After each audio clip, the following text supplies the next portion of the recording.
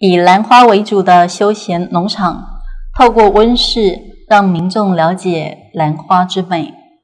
来趟屏东花园小旅行吧，可以感受花艺空间带来的优雅与喜悦，也可以看到教堂风格的建筑与景观池相互辉映。要了解兰花，园区也有导览，可以让民众更亲近美丽的兰花。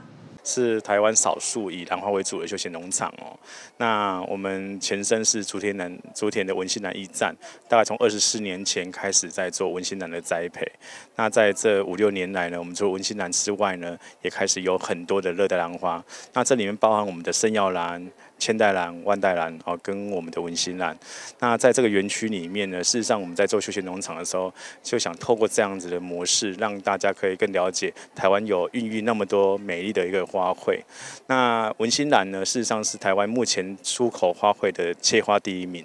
那在这个园区里面，我们也透过各种的活动，把我们文心兰的应用呢，让大家来一个发现哦。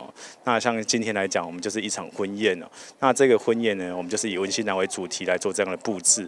那当然呢，呃，在这一个温室的部分呢，你也可以看到我们万代兰它的生态。那所以我们在那个地方也设计了一个解说教室。承袭二十多年的兰花经验，展现为兼具美感体验与知识的休闲新天地。